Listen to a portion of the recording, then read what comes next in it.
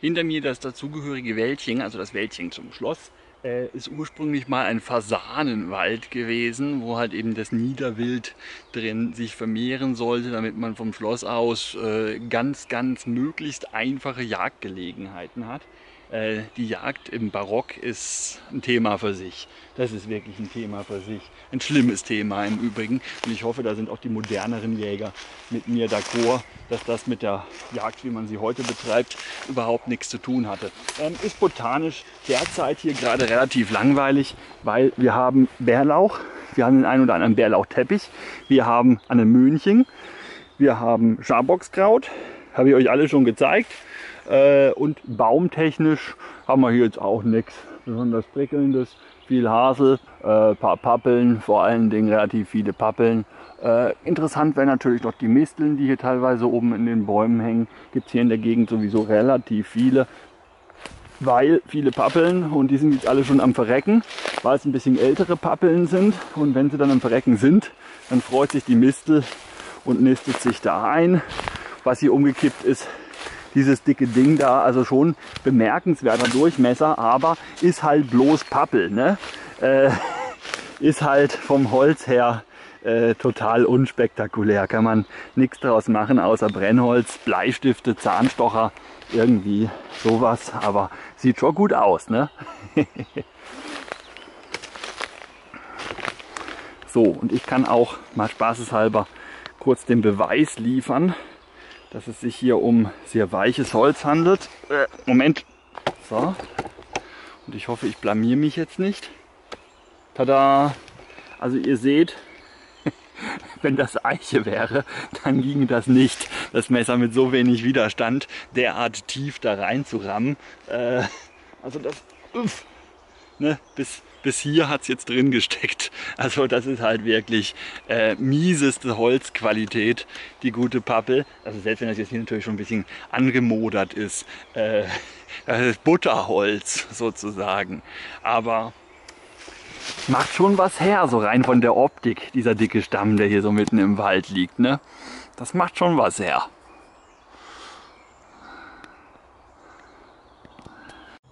Auch ein schöner Anblick. Ist, finde ich dann immer so ein, gerade wenn der, also hm, fangen wir von vorne an, so was hier entsteht, wenn der Baum halt von innen heraus äh, durchgefault ist, was man hier wirklich schön sehen kann. Also der ist wirklich ein mustergültiges Exemplar von von innen heraus durchgefault. Der ganze Kern des Baums ist weggefault und wenn man hier entsprechend in den Stamm reinguckt, stellt man auch fest, der wird mit Sicherheit schon ähnlich hohl gewesen sein, bevor er gefallen ist.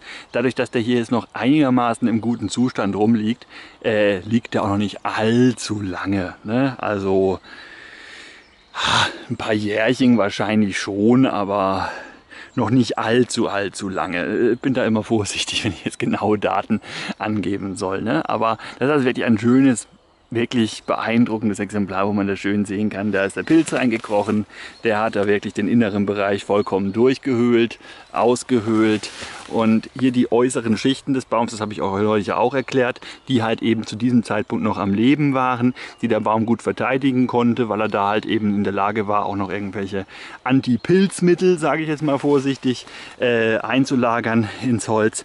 Die hat er noch ganz gut beschützen können. Die brauchen auch jetzt noch länger, um abgebaut zu werden. Die sind ja jetzt noch vergleichsweise gutes Holz. Das hier könnte man sogar noch als Brennholz einigermaßen verwenden. Während halt hingegen das ganze Innere halt vollständig aufgelöst wurde. Und hier kann man es halt auch noch mal ganz gut sehen. Und die äußeren Schichten, eben der Bereich, der noch am Leben war, als der Baum gefallen ist, äh, der noch intakt war, der ist noch in ganz gutem, vergleichsweise ganz guten Zustand. Aber wirklich schönes Bild. Schön zum Angucken. Da ist dann übrigens auch Schluss von der Höhe her. Was ich euch noch gerne zeigen wollte, äh, bei den Anemonchen, Anemönchen, das kommt auch durchaus mal vor, dass die äußeren Blütenblätter so leicht lila oder rosaartig sind.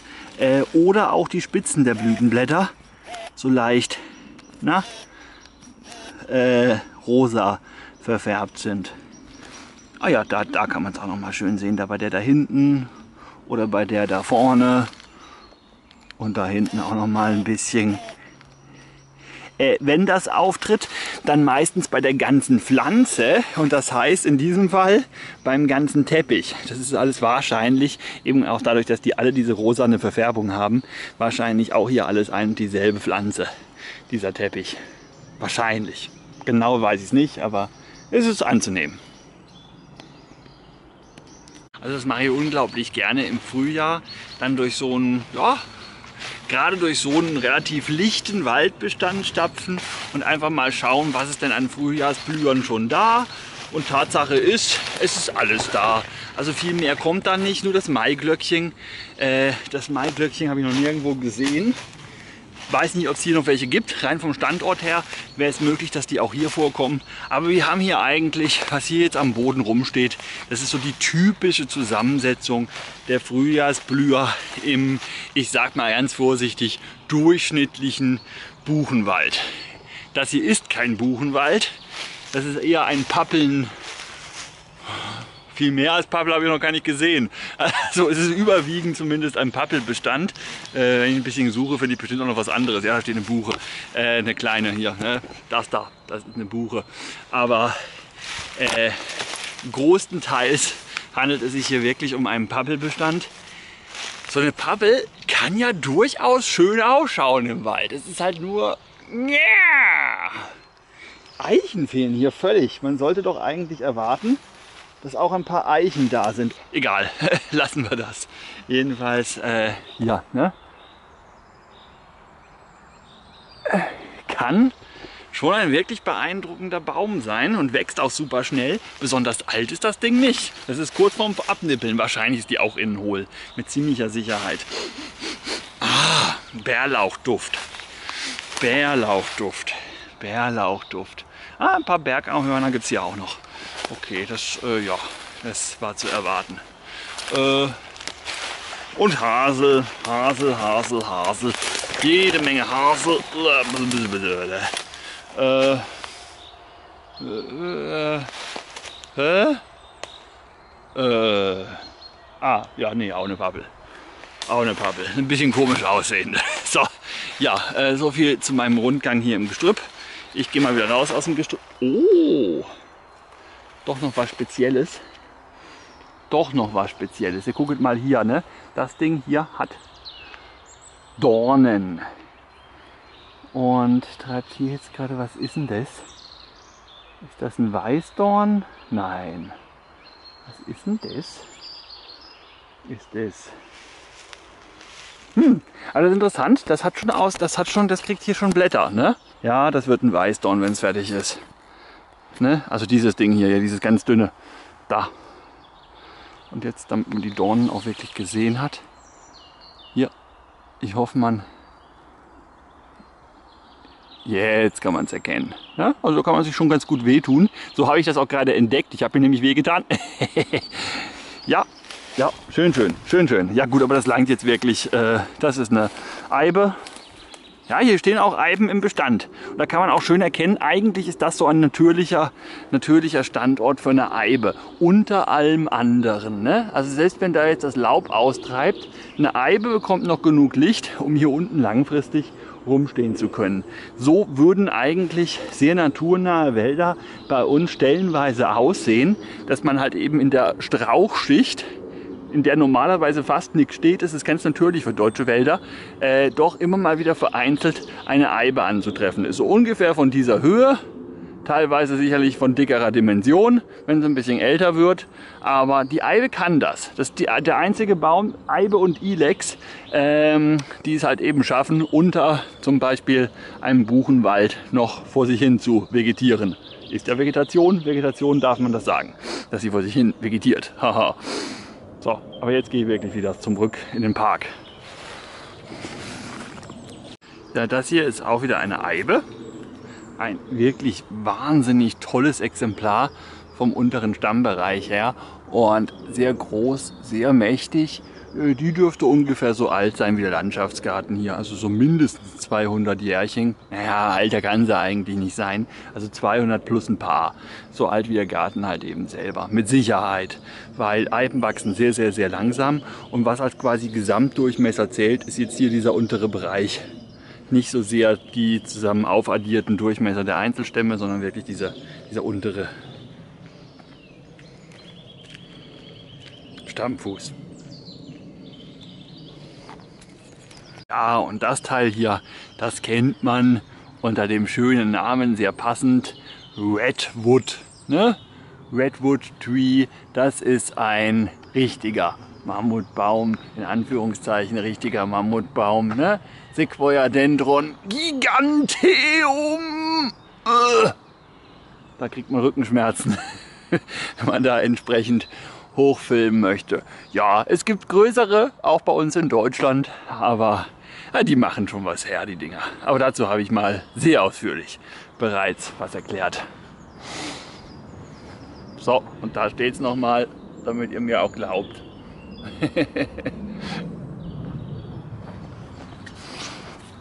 Ein paar beeindruckende Buchen gibt es hier auch. Und ich habe ja auch schon mal erklärt, wenn man schon sich und seine Liebste, was auch immer das jetzt hier genau heißen soll, S und S, naja, Miss S plus S, Victor A, vermutlich fehlt ein I. Oder Victory, äh, ich weiß es nicht. Äh, Bimbo? Hm. Naja, wie auch immer, jedenfalls, wenn man sich schon in einem Baum verewigen muss, äh, dann sollte man wirklich, wenn man möchte, dass das da auch eine Weile steht, äh, Detöxe Achtung, ich heiße Tüxen, nicht Töxe. Ich war das nicht. Jedenfalls sollte man, wenn man möchte, dass es lange zu sehen ist, eine Buche nehmen, weil äh, sich die Rinde quasi ausdehnen kann. Es gibt hier keine Schuppen, es ist eine sehr glatte Rinde. Man spricht von einem Peridermbaum. Äh, die äußere Rindenschicht wird nicht immer wieder abgeworfen und von innen heraus erneuert, sondern die lebt quasi. Es gibt kein totes Material außen äh, und ist deshalb auch dehnfähig. Kann also auch in die Breite wachsen, wenn der Baum dicker wird wird, wächst die Rinde mit und das führt dazu, dass sie auch die reingeritzten Sachen immer breiter werden und sich in die Breite verschieben. Das ist jetzt noch nicht so lange her. Äh, das da oben scheint ein bisschen älter zu sein, so wie das ungefähr aussieht. Und da die Rinde lebt, ist sie auch in der Lage, so eine Verletzung relativ gut abzuheilen und von außen, von innen quasi neue Rindenpartikel eben in äh, die Verletzung hinein wachsen zu lassen. Auch das hier, was immer das sein soll, künstlerischer Art, hat sie ja ganz gut überstanden. Und äh, da ist alles geheilt. Also die sind alle zu, sämtliche dieser tollen Einritzungen. Buche ist da relativ zäh und widerstandsfähig. Das sollte man selbstverständlich trotzdem nicht tun. Ne? Äh, also das sollte jetzt in ein Gag sein, wenn man schon in einen Baum irgendwas einritzt, dann in die Buche. Selbstverständlich ritzt man nichts in einem Baum ein. Ein. Natürlich, die kann das ganz gut wieder heilen. Es kann aber auch passieren, dass sie es eben nicht heilen kann, dass dann durch so eine Verletzung eben der Pilz eindringt. Und vielleicht ist diese Buche innen hohl. Wir wissen es nicht. Ja, unwahrscheinlich, unwahrscheinlich, aber potenziell wäre es möglich. Hier haben wir wieder ein schönes kleines Bärlauch, Buschwindröschen und, was ist das da hinten? Wisst ihr es noch? Aaronstab. Mischgemisch. Ja, deswegen ist es, glaube ich, so angeblich häufig vorkommt, dass jemand Aaronstab mitsammelt, wenn er Bärlauch sammelt, weil teilweise wächst er halt schon direkt nebeneinander oder auch ineinander, dass der Aaronstab quasi als Insel im Bärlauchmeer steht, aber wie blöd muss man sein, ne? aber das soll angeblich wirklich immer mal wieder vorkommen. Ich weiß es nicht noch was Interessantes gefunden. Das hier hinter mir ist eine Pinostrobus. Also auch wieder eine Kiefer. Moment, hat die auch einen deutschen Namen? Weiß ich gerade gar nicht. Gucken wir mal. Hängt hier ein... Ach, Weymouth Kiefer. Weymouth Kiefer. ja, Englisch und ich. Ähm, jedenfalls haben wir Glück. Es ist ein Zweigchen runtergefallen. Äh, die Krone ist nämlich ein bisschen hoch. Da wäre ich jetzt nicht rangekommen. Ähm, die Strobe, man nennt sie auch gerne Strobe, auf Deutsch zeichnet sich dadurch aus, dass es eine fünfnadelige Kiefer ist. Also die Einzelnadeln, die sehen ziemlich kiefermäßig aus, sind aber deutlich weicher und kuschelig. Oh. kuscheliger. Ich, wir haben sie gerne im Studium auch als Kuschelkiefer bezeichnet, weil die sind wirklich angenehm vom Gefühl her. Das kitzelt ein bisschen, äh, ja, und mehr aber auch nicht. Also Kuschelkiefer. Ne? Man kann da auch prima seine Kommilitoninnen mit äh, auf der Exkursion beglücken sage ich jetzt mal ganz vorsichtig. Ähm, ja, wie gesagt, fünfnadelig. Kiefern haben ja immer Nadelbüschel. Bei unserer einheimischen Kiefer sind ein so ein Büschel immer zwei Nadeln. Bei allen unseren einheimischen Kiefern und auch bei der Schwarzkiefer, meine ich, werden es zwei oder drei Nadeln in einem Büschel. Und bei der Strobe hier haben wir immer fünf Nadeln im Büschel. Also normalerweise. So, jetzt muss ich mal eins abrupfen.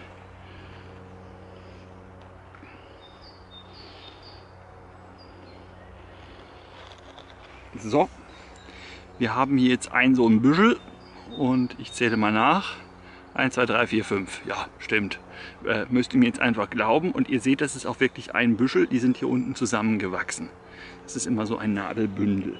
Ja, also diese kuscheligen Nadeln ungefähr so lang wie unsere einheimischen, mit denen man sich im Gesicht rumpinseln kann, ohne dass das irgendwie unangenehm wäre ich persönlich mag das eigentlich eher. äh, ähm, und eben fünf Nadeln im Büschel. Das ist ganz, ganz, ganz einfach zu bemerken, äh, einfach festzustellen, dass es sich dann dabei um die Strobe, Pinus strobus, oh, äh, handeln muss. So, wird ja immer besser. Also ich wusste gar nicht, dass es das Ding hier auch gibt, wo ich jetzt gerade runterstehe. Äh, das hier ist jetzt wieder eine Scheinzypresse und zwar die andere. Ne? Es gibt diese zwei Scheinzypressen, die bei uns einigermaßen wachsen. Das eine ist die Lawson Scheinzypresse und die andere, die hat so einen furchtbar unaussprechlichen Namen. Ich zeige euch nachher das Schild, da muss ich mich jetzt schon nicht blamieren. Äh, zwei interessante Dinge. Erstens, äh, die ist hier gerade ordentlich am Stäuben. Kann man wunderbar sehen. Schön, nicht? Also das ist alles Pollen, was hier entsprechend rausstaubt. Äh, dagegen ist kaum jemand allergisch, weil das Ding ist nicht einheimisch. Die sind selten, gibt es kaum in Deutschland. Deswegen äh, relativ harmloser Pollen. Momentan kann die auch, glaube ich, nichts anderes bestäuben als sich selbst, weil es gibt weit und breit keine zweite. Und die Unterscheidung ist jetzt zur äh, Lawson Scheinzypresse dass man hier diese mysteriösen X auf der Nadelunterseite, also das ist die Nadeloberseite, das ist die Nadelunterseite, man sieht so gut wie keinen Unterschied, äh, aber diese mysteriösen X, die da zu sehen sein sollen, die sind hier halt eben nicht drauf. Das ist also quasi die Scheinzypresse ohne irgendwelche interessanten Merkmale und tatsächlich sieht man das hier ganz gut. Ähm, ich weiß nicht, ob ihr irgendwelche X erkannt hat auf dem anderen Exemplar. Jedenfalls sind hier jetzt tatsächlich keine. Also das war was ihr euch vielleicht eingebildet hat, was ein X hätte sein können, sollte hier jetzt fehlen. Dann könnt ihr euch sicher sein, dass ihr es beim anderen Ding richtig erkannt habt und hier jetzt eben entsprechend überhaupt kein besonderes Merkmal bitte erkennen solltet. Dann ist alles in Ordnung. So, und äh, wir kommen zum Namen von dem Ding den auszusprechen. Wie gesagt, ich mich nicht traue. Also auf Deutsch ist einfach Nordkorea scheint Zypresse. Es gibt auch noch einen anderen Namen, nämlich Candocyparis Notkatensis. Klingt auch wieder nach einem Harry Potter äh, Zauberspruch, ne? Es gibt, glaube ich, noch eine dritte von diesen, diesen Scheinzypressen, ähm, die theoretisch in Deutschland stehen können. Oder sogar noch eine vierte, ich bin mir nicht ganz sicher. Aber da steige ich aus. Das sind die zwei, die ich theoretisch zumindest kann. Theoretisch. Mit 70-prozentiger Wahrscheinlichkeit. Also das ist ein Service. Dieses Exemplar hier von einer Rosskastanie hat extra auf Kniehöhe ein paar Knospen angelegt, damit ich euch die zeigen kann. Von der Knospenbestimmung her gehört das Ding zu den einfachsten Arten überhaupt, weil sie schlicht und ergreifend die größte Knospe im deutschen Pflanzenreich äh, vorzuweisen hat. Rosskastanie, die Blätter kennt ihr hoffentlich, die sind ziemlich riesig und dieses gigantische Rosskastanienblatt passt halt in eine Knospe und dafür muss die Knospe entsprechend groß sein. Und zweite wesentliche Eigenschaft, die zur Bestimmung Bestimmung der Knospe sehr hilfreich ist. Ich hoffe, man kann das so ein bisschen erkennen. Die glänzt so leicht, so ein bisschen feucht und ist extrem klebrig. Also man, man bleibt da richtig dran betten. Ne? Man kann das sogar ein bisschen hören. Ich weiß nicht, wie gut das Mikro meiner Kamera ist, aber also ich hoffe, ihr, ja, da, da an meinem Zeigefinger kann man es ganz gut sehen, dass das wirklich, ne, da auch am Daumen, zack, Also das klebt richtig. Äh, und das ist ein schönes Bestimmungsmerkmal eben für die Knospen der Rosskastanie. Die klebrigen Rosskastanien, Riesenknospen. Also man sieht da schon, wie gesagt, hier meine Hand nochmal im Vergleich. Die sind schon wirklich, wirklich groß, diese Knospen. Und das sind jetzt diese relativ kleine. Wenn wir uns jetzt hier mal im Bereich der Zweige umgucken und hier dann mal so eine Knospe ranzoomen, ah, die sind schon wirklich, wirklich groß, die Dinger. Ne? So. So, und hier habe ich auch die perfekte Schlusseinstellung gefunden, nämlich mit den zwei hier. Denn ein altes chinesisches Sprichwort besagt, Ente gut, alles gut. Also das ist jetzt das Ente. okay, der war scheiße, aber ich, ich mag Enten. Enten sind toll. Zu Enten muss ich auch mal irgendwann was erzählen. Also zur stinknormalen Stockente, ein unglaublich erfolgreiches Tier. Äh, egal, tschüss, macht's gut. Äh, das sollte ein Winken sein. Das sieht man jetzt wegen dem Zoom nicht richtig. Äh, bis zum nächsten Mal und ich hoffe, wir haben alle ein bisschen was gelernt. Inklusive mir, dass ich nämlich richtig lag mit meiner Lawson Scheinzypresse. Erfolgserlebnis des Tages. Macht's gut, bis zum nächsten Mal.